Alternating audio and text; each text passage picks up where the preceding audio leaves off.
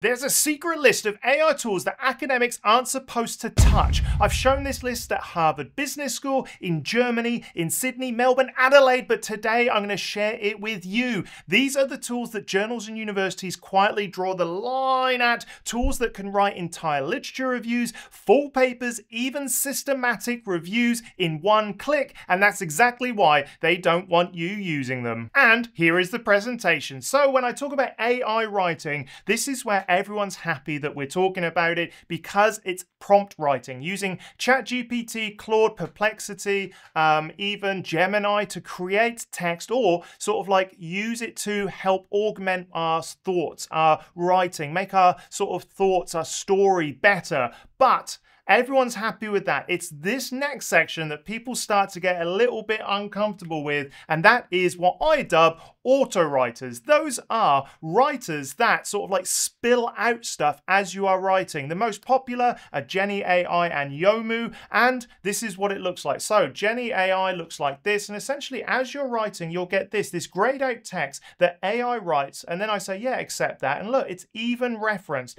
It's easy because as you are sort of like accepting, it just says the next one. Look at that. Look, it just says, yeah, do that next. Okay, this is reference. It didn't need a reference here. Okay, yeah, okay, accept that. Now, the thing about this and the thing that makes it sort of like a gray zone is that people have to be in control of each individual sentence or paragraph. The problem is when you just allow AI to write for you, that's where everyone gets very, very nervous. All the bumholes in the university go, oh no, so these class of tools that I talk about in these presentations at universities are done for you tools. That's what I've called them, done for you, done for you. And that essentially means that you put in a prompt, you go away, you enjoy your life, you come back 20 minutes later, and you have a full literature review, a paper draft, anything that you want. So, the first one that I want to talk about is Thesis AI. Thesis AI is a really great way of getting literature reviews, full, in depth, researched literature reviews on almost any topic you can chuck at it. So, this is what it looks like when you sign in. You can say how many papers, well, we're at 30 plus or minus 5.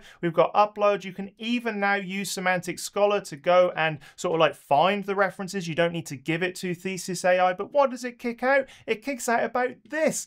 After about 20 minutes, this is what it looks like. Look, it is fully referenced. It is detailed. It is dense. It is long. It's 44 pages, this, and it only took me, you know, a little bit of time to find the references that it used. And you can see that it's all completely sort of like linked. You can output this to Word, you can output it to uh, LaTeX in Overleaf. So everything is completely customizable and that's what I like about Thesis AI but people don't like you using it and there's others they don't like you using either. The next tool that's in the red box of naughtiness is Gatsby. Gatsby is a tool that allows you to do so much. You can discover research ideas, write scientific papers, patent your inventions, and run meta-analysis and more. I absolutely love it. I recently did a video about this. Check it out here. But essentially in that video, I was able to create a full first paper draft from ideas in a Word document. Absolutely love that. And then I can see if there's any gaps. I can sort of like start interrogating that output to see if it is a true story that I want to tell. It has never been easier to create a first paper draft with a tool like Gatsby or some of the other tools that I'm about to talk about. So yeah, amazing. Here are some other ones that you need to know about. As part of my presentation that I give at universities around the world, the next load of tools made me very, very excited when I first sort of like started to understand what they could do for academia and research. And that is agentic AI. In this case, it's Manus and Genspark. And now even ChatGPT agent can do some of these things awesomely. So let's go check it out. So over here, if we go to uh, Manus IM, look, you can see I've given it some figures and I've said create a paper draft for me. This is a formatted academic paper. This is what it looks like. It's not completely referenced, but you can see it gives me a really great sort of like start of that peer-reviewed uh, writing process. It is referenced and you've got experimental methods, you get results and discussion. You don't get the actual figures in there like you do with Gatsby or some other tools, but ultimately you can sort of like shortcut some of the most annoying things, which is generating a first draft, generating literature review, uh, giving you feedback on your paper. All of these things are now sort of outsourceable to different AI agents, and universities and journals are not allowing you to use them because they don't know how powerful they truly are, and they're worried you're just going to use it to cheat, whatever that looks like. Anyway, there's more. Check out this one.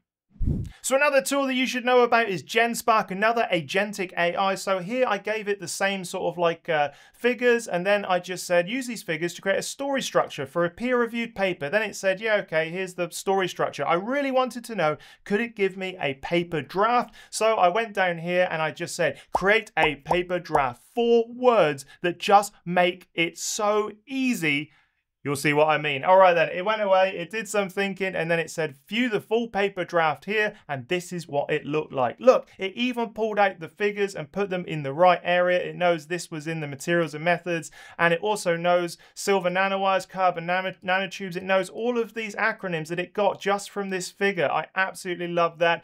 In then results and discussion, it gives me a suggested sort of like story, a flow through that paper that I could talk about. Absolutely love that. So these are super powerful tools and it gets even even more powerful because some of the tools that academia was saying yes you can use are now slowly going into the grey zone. Hmm, is that going to be the slippery slope to using these daily?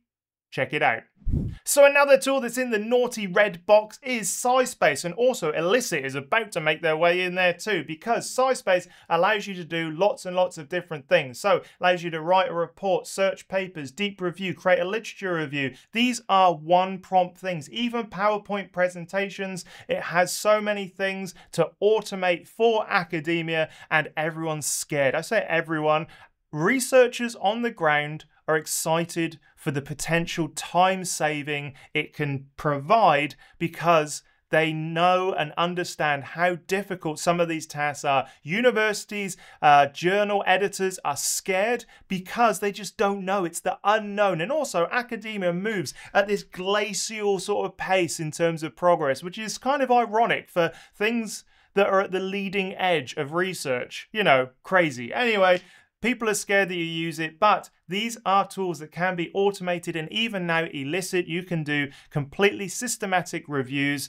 um, with a few clicks of a button and a few simple prompts. That is going to be the future of academia. And all of these tools that are in the red box of do not use will slowly, slowly be allowed and will be slowly allowed to use the full power of AI. Oh, imagine that the full power of AI in academia and research. Not everyone's comfortable with this, but let me know what you think. Are you using them?